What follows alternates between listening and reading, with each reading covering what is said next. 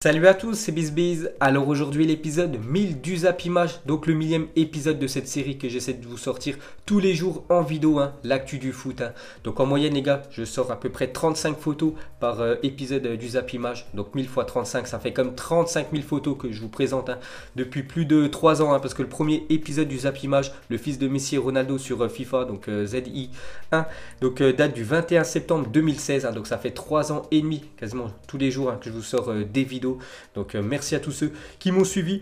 Donc euh, grâce à cette euh, série, c'est vraiment cette série qui m'a fait, on peut dire, percer hein, sur YouTube, parce que maintenant je gagne ma vie grâce à YouTube. Et on peut voir que j'ai obtenu plus de 305 720 abonnés. Donc n'hésitez pas à vous abonner les gars, pour ceux qui ne sont pas, je sais que je vois dans les statistiques, il y en a beaucoup qui regardent mes vidéos sans être abonnés. N'hésitez pas, hein, pourquoi pas essayer de déplacer les 306 000 aujourd'hui, ce serait beau. Et surtout les gars, vraiment ce que j'aimerais battre aujourd'hui, c'est mon record de likes depuis euh, bah, ma création de ma chaîne YouTube. Donc la vidéo qui a eu le plus de likes, c'est le ZI 100. En fait, j'ai obtenu plus de 29 320 euh, likes hein, sur euh, cette vidéo. Donc j'espérais sur cette vidéo hein, du Zap Image 1000, hein, parce que 1000 les gars, c'est quand même une sacrée barre dépassée. Donc essayez de dépasser la barre des 30 000 likes sur cette vidéo. Ça va être très compliqué. Si on n'y arrive pas, c'est pas grave. Mais voilà, 30 000 likes les gars, ce serait très beau. Donc maintenant, place au Zap Image. Donc le Zap Image 1000 les gars, on va continuer avec le même procédé. Et on commence aujourd'hui avec la deuxième demi-finale de la Super Coupe d'Espagne. C'était hier entre le Barça et l'Atlético euh, Madrid. Donc score final, bah, c'est l'Atlético qui s'est imposé euh, contre le Barça 3-2. Donc tous ces joueurs en deuxième mi-temps, parce que la mi-temps il y avait zéro partout. Donc Koke, Morata et euh, Correa ont été buteurs côté Atlético, Messi, Griezmann côté Barça, mais ça n'a pas suffi. Hein. Encore une grosse désillusion pour les Barcelonais. Pourquoi? Parce qu'à 10 minutes de la fin, bah, ils menaient 2-1 et en fait ils sont effondrés en fin de match. Hein. Donc encore une grosse désillusion. Donc la finale sera Atlético contre le Real Madrid, on en reparlera juste après. Ensuite, on revient sur l'entraîneur hein, de l'Atlético, Diego Simon, a battu le Barça pour la première fois en compétition nationale après 23 confrontations. Donc les 23 derniers matchs, le Barça, Atlético, à chaque fois, bah, le Barça ne pas. C'était soit match nul ou souvent victoire. Hein. Il y a eu un match il y a quelques semaines, le Barça s'est imposé 1-0 du côté du Wanda Metropolitano. Mais hier, hein, depuis ben, plus de 23 matchs, bah, enfin l'Atlético a battu le Barça. Ensuite, on va regarder ce qui se dit en Espagne d'après les presses espagnoles, donc d'après Sport, inexplicable. Le Barça a laissé euh, l'Atlético revenir dans une fin de match après avoir joué ses meilleures minutes de la saison. C'est vrai qu'ils ont fait un beau match, l'équipe du Barça. Mais voilà, ça n'a pas suffi. Hein. Ils ont pris une remontada à la fin euh, de la rencontre. Hein. Et le grand match de Messi a été éclipsé par la fragilité défensive et les décisions de la VAR qui ont coulé l'équipe. Hein. C'est vrai qu'il y a eu deux buts inscrits par l'équipe euh, du Barça. Et les deux buts ont été refusés à cause euh, de la VAR. Parce qu'il y avait hors-jeu. Donc on peut voir quand même que Messi a fait un énorme match. Mais ça n'a pas suffi. parce que la défense du Barça hier a coulé. Ensuite, cette fois-ci, la une journal Mondo Deportivo. Donc c'est plus un journal spécialisé hein, sur l'équipe du Barça, donc ils l'ont en travers hein. cette élimination en demi-finale. Donc euh, ils ont mis en titre Super VAR, parce que c'est à cause de la VAR que bah, le Barça s'est fait éliminer. Mais il faut pas oublier que le Barça, ces dernières années, a eu beaucoup de décisions en faveur hein, ben, de l'équipe du Barça. Mais quand c'est contre eux, on peut voir que ça fait la une des journaux espagnols. Ensuite, une déclaration de Antoine Griezmann qui a vu bah, son ancienne équipe se qualifier pour la finale de la Super Coupe. Nous avons perdu à cause de nos erreurs. J'ai loupé la passe pour Umtiti et l'Atlético a marqué une telle erreur vous de toute compétition. Nous devons travailler plus fort. Donc c'est vrai qu'il a été buteur hier Griezmann, mais à cause de lui, bah, ça a coûté un but hein, pour euh, le Barça parce qu'il a voulu faire une passe à Umtiti qui a été interceptée. Donc l'Atlético a marqué. Et pour revenir à sur Umtiti, il a eu beaucoup de mal hier, le défenseur français. Ensuite, une déclaration de Lionel Messi qui a été très bon hier, hein. mais voilà, son équipe a sombré dans les 10 dernières minutes euh, du match et s'est fait revenir. Donc la défaite n'a rien à voir avec Liverpool ou Rome hein, quand ils ont pris des remontadas. Il a aussi dit euh, nous avons commis des erreurs que nous devions pas commettre. Donc voilà ce qu'a dit Lionel Messi à la fin de la rencontre. Ensuite, une autre déclaration de sa part. Hein. donc, il a dit c'est dommage. Nous avons fait un grand match. Nous n'avions pas eu ces bonnes sensations depuis un moment. On contrôlait le match pendant 80 minutes.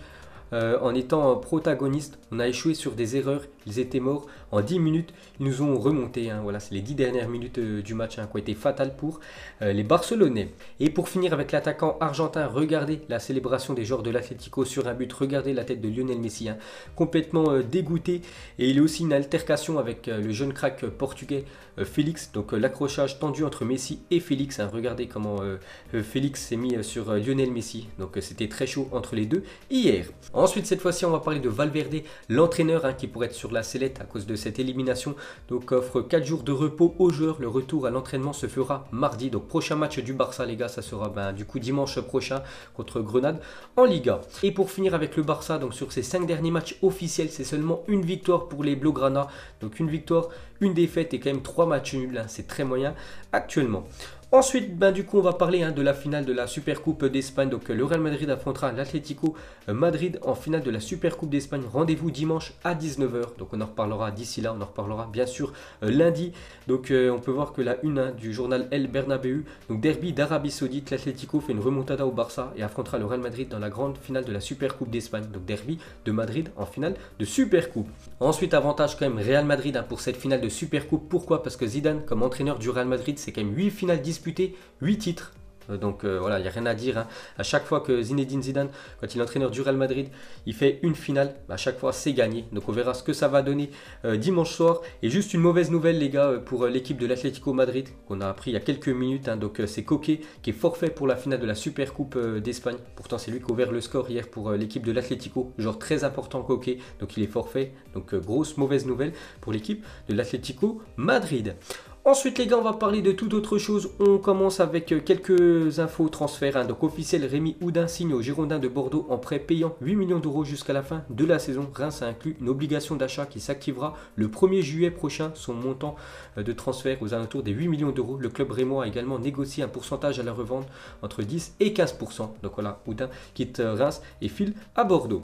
Ensuite des nouvelles de Olivier Giroud qui devrait quitter l'équipe de Chelsea pendant ce mercato hivernal. Donc il devrait aller du côté de l'Inter Milan. Sont tombés d'accord sur un contrat de deux saisons et demi. La balle est désormais dans le camp de Chelsea qui en demande entre 8 et 10 millions d'euros. Donc ça devrait se faire dans les prochains jours, Giroud, du côté de l'Inter. Ensuite, euh, officiel Tottenham annonce qu'Harry va subir une intervention chirurgicale pour se faire opérer de l'ischio-jambier gauche. Il devrait être absent 3 mois. On sait que Harry Kane, hein, c'est l'atout numéro 1 en attaque côté euh, Tottenham. Donc il devrait louper bah, tous les matchs jusqu'au mois d'avril. Un gros coup dur pour l'équipe de Tottenham. Ensuite, pour continuer avec les joueurs blessés, donc c'est un autre anglais, c'est Harry Maguire, touché à la hanche, devrait être euh, absent des terrains pendant plusieurs semaines selon The Guardian. Donc très mauvaise nouvelle pour l'équipe de Manchester United, l'un des défenseurs les plus chers de l'histoire du football. Maguire est blessé pendant X temps, donc Manchester United ne disposera plus que de Phil Jones et Victor euh, Lindelof pour composer sa défense centrale. Hein. Donc c'est très pauvre la défense actuellement côté Manchester United. Ensuite, cette fois-ci, une très bonne nouvelle pour l'équipe de France. Hugo Lloris devrait faire son retour à l'entraînement d'ici une dizaine de jours. Hein. Vous savez qu'Hugo Lloris a été victime d'une grave blessure il y a quelques temps. C'était exactement le 30 octobre dernier. Pour rappel, le portier tricolore s'était euh, gravement blessé au coude. Donc, euh, c'était lors d'un match de Première Ligue. Donc, il devrait revenir bah, à l'entraînement d'ici 10 euh, jours. Hein. Donc très bonne nouvelle déjà pour l'équipe de Tottenham parce qu'ils ont pris pas mal de buts ces derniers temps et surtout très bonne nouvelle pour l'équipe de France. N'oubliez pas qu'il y a l'Euro dans quelques mois. Ensuite on peut voir que les affiches des demi-finales de la Coupe de la Ligue ont été tirées hier soir. Donc première demi-finale Reims PSG et deuxième demi-finale hein, c'est Lyon-Lille. Hein. Ça pourrait faire un beau PSG-Lyon en finale ou euh, PSG Lille, ça peut être plutôt pas mal. Après, faut pas oublier que Reims quand même a battu le PSG cette année au Parc des Princes. Et pour finir avec ce tirage au sort qui a été effectué hier sur France 3 euh, à l'émission euh, Tout le sport. Donc quand Pedro Miguel Poletta s'adresse à Edinson Cavani à la fin de l'émission Tout le sport sur France 3 hier, hein, lors du tirage au sort des demi-finales de la Coupe de la Ligue. Donc il a mis un petit message ne pars pas Edinson en parlant de Edinson Cavani qui devrait quitter le PSG l'été prochain. Ensuite cette fois-ci on va parler de la Coupe de France. Donc les affiches des 16e de finale de la Coupe de France c'est la semaine prochaine. Donc il y a des matchs à partir du jeudi soir jusqu'au lundi soir. Hein. Donc à chaque fois il y a une grosse affiche à 21h. Donc Pau Bordeaux jeudi, Grandville Marseille vendredi euh, samedi, ça sera Nantes contre Lyon. Dimanche, Lorient, Paris Saint-Germain. On terminera lundi avec Saint-Privé contre l'équipe de l'AS Monaco. Ensuite, un petit coup d'œil du journal L'équipe. Aujourd'hui, c'est marqué Brest Test en parlant bah, du choc ce soir en Ligue 1. N'oubliez pas que ce soir, les gars, premier euh, match hein, sur cette année 2020 en Ligue 1, c'est l'équipe de Rennes, actuellement troisième qui reçoit l'équipe de l'OM actuellement deuxième. C'est quand même un choc. Hein. Donc on verra ce que ça va donner. Et bien sûr, on en reparlera demain.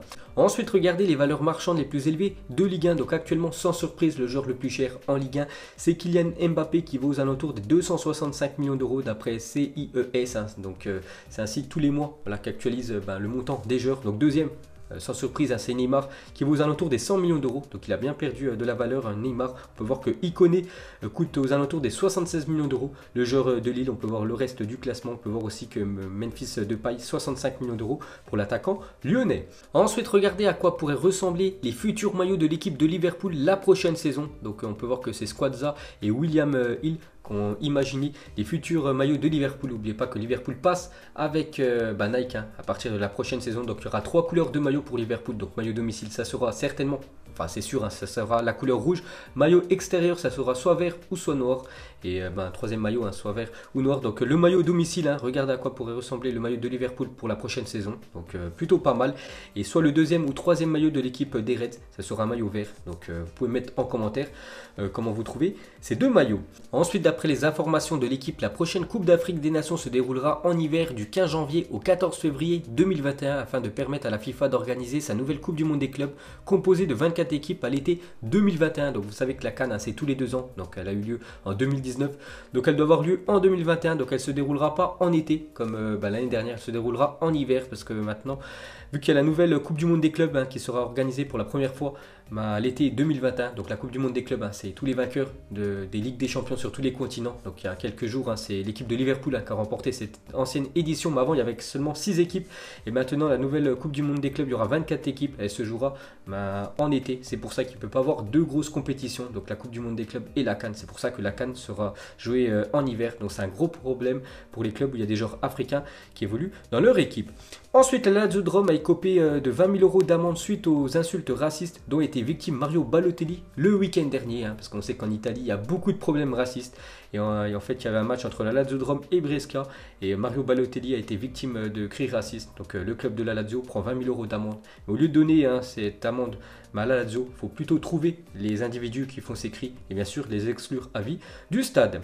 Ensuite, une petite anecdote. Donc en 1979, lors de Saint-Etienne, Aris Salonique, en Coupe d'Europe, le club stéphanois n'avait pas trouvé de place en tribune de presse pour y loger ces jeunes du centre de formation. Le club décide alors de les placer sur le toit avec des couvertures incroyables. Hein. Étaient sur euh, le toit du stade Geoffroy Guichard pour regarder ce match de Coupe d'Europe. C'était il y a plus de 40 ans. Donc voilà les gars la fin de ce zappimage 1000. Donc merci à tous ceux voilà, qui l'ont regardé. Merci à tous ceux qui vont like. Hein. On va essayer vraiment de dépasser ces 30 000 likes les gars. N'hésitez pas aussi à vous abonner à ma chaîne. Hein. Ça fait extrêmement euh, plaisir. Donc nous, en espérant faire le plus d'épisodes possible, vous donner le plus d'infos sur le foot tous les jours. Donc merci à tous les gars pour cet épisode spécial. Ciao à tous